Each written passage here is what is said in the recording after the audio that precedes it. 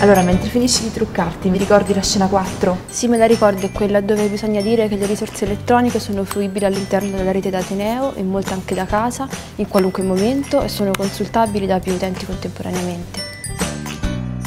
Sì, la scena 4 è quella dove si dice che non tutti i documenti sono disponibili in formato elettronico.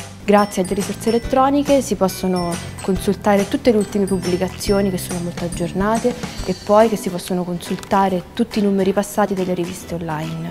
Interpreto questa ragazza che odora i libri, chiede consigli in biblioteca e che ha proprio piacere a studiare in biblioteca perché le piace farlo.